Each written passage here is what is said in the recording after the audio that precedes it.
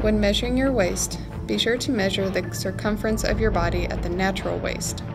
To find this point, stand straight and bend your body to one side. Where your body creases is your natural waist.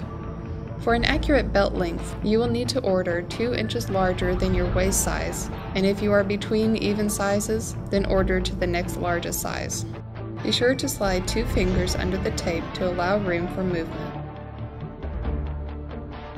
When measuring a woman's hips, stand with both heels together and measure their circumference at the fullest part of the hips. When measuring an inseam, please seek assistance for accurate measurements. Standing barefoot, measure from the crotch to the floor and round to the nearest inch.